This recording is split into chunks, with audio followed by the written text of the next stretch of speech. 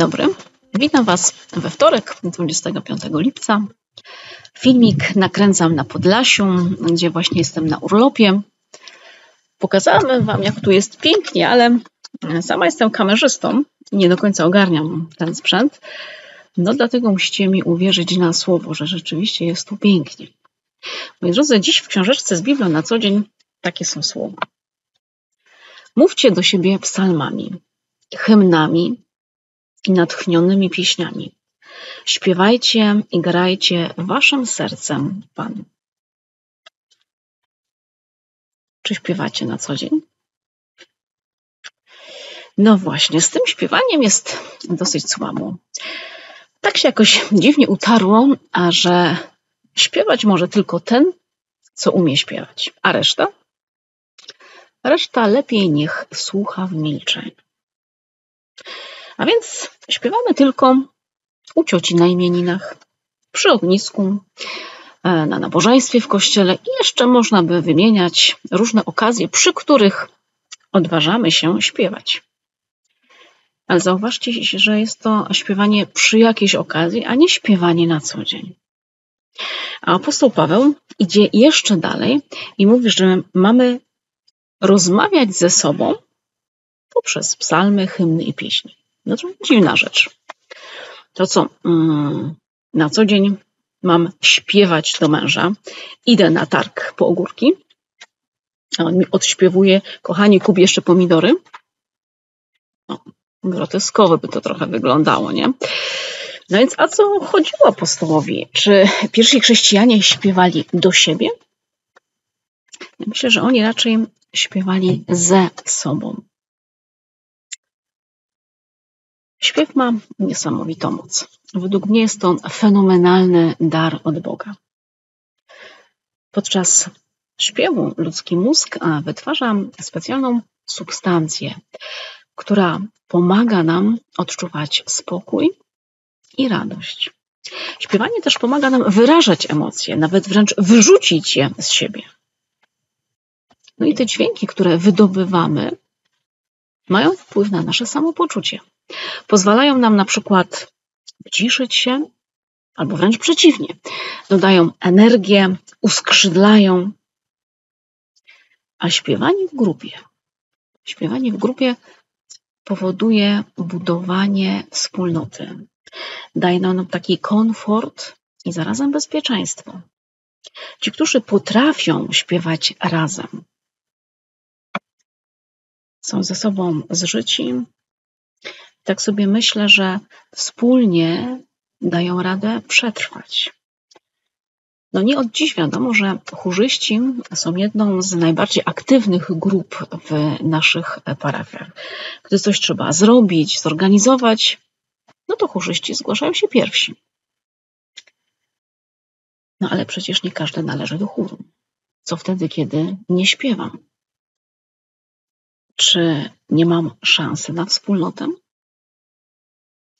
No jeszcze raz, wróćmy do listu do Efezjan. Apostoł Paweł nic nie mówi o śpiewaniu w chórze, a o śpiewaniu razem. Dobrze jest mieć grupkę znajomych, z którymi oprócz spotkania przy kawie czy gry w planszówki, możemy także usiąść przy ognisku i po prostu pośpiewać.